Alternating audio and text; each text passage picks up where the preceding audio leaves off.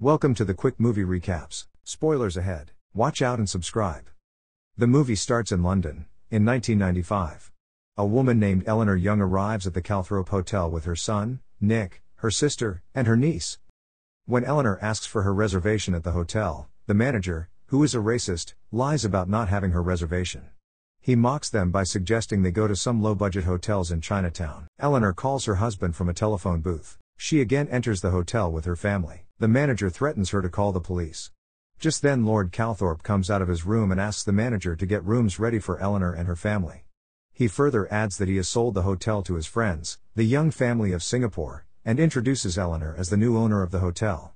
The manager is shocked and Eleanor asks the manager to wipe the mud left on the floor from her son's wet shoes. The next scene begins in New York, in 2018. A Chinese American economics professor, Rachel flies to Singapore with her boyfriend, Nick Young, for his best friend's wedding. To Rachel's surprise, she and Nick are placed in the first class. Nick reveals that his family is crazy rich real estate developers. They are welcomed at the airport by Nick's best friend and his fiancée, Araminta. Along with them, Rachel and Nick explore Singapore and enjoy street food. The next morning, Rachel goes to visit her old college roommate, Peik Lin Goh, whose family is also very wealthy but not as much as Nick's family. Rachel meets Peik Lin's parents and three siblings. When Rachel mentions that she's dating Nick Young, everyone tells her the Youngs are the richest. She goes to a party thrown by the Youngs. Nick takes her to meet his mother, Eleanor, and then his grandmother. Eleanor looks down upon Rachel for not coming from money like them. Later, he introduces Rachel to his cousins and aunts. Meanwhile, one of Nick's cousins, Astrid discovers that her husband, Michael is having an affair. The next day, Rachel joins Araminta and her friends for her bachelorette party while Nick joins his cousins for Colin's bachelor party. Later, Nick reveals to Colin that he has bought an engagement ring to propose to Rachel. Meanwhile, Rachel meets Amanda Ling, who then reveals herself as Nick's ex girlfriend, trying to play with Rachel's feelings. Rachel leaves the spa when she overhears some girls making snide comments about her. She runs into Astrid, who comforts her and shares that her husband is having an affair. When they reunite, Rachel tells Nick about what happened and gets upset at him for not telling her about his past. Then he apologizes to her. Later, he takes Rachel to meet his family so that she can learn to make dumplings from Nick's grandmother. Rachel notices Eleanor's ring, which she says Nick's father made to propose to her. Later, Eleanor makes it firmly clear to Rachel that she doesn't think Rachel is good for Nick.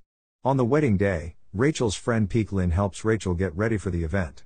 After the wedding, Eleanor reveals to Nick that she hired a private investigator to look into Rachel's past. Rachel lied about her father and that he is alive. Rachel's mother cheated on her husband and became pregnant with another man's baby. Rachel gets hurt and goes home. Soon, Rachel's mom, Kerry shows up to tell Rachel the truth. She tells her that her husband was abusive and she found comfort in her school friend, whom she fell in love with. She moved to America to save Rachel from her husband. Soon, Nick meets Rachel and proposes to her, but she declines. Then she meets Eleanor and tells her that she turned down Nick's proposal because she doesn't want him to cut off his family. But he will probably resent her mother for the rest of his life for making him leave Rachel. Meanwhile, Astrid decides to divorce her husband. Rachel and Kerry say goodbye to Peik Lin and her family and leave. Nick catches up to her on the plane and tells her he would give up his fortune just to be with her. Then, he proposes once again, but this time with Eleanor's ring. Rachel accepts his proposal. Then, they kiss each other. Later, he throws a huge engagement party with all his friends and family. Eleanor looks upon Rachel more approvingly. Then, Rachel and Nick kiss passionately.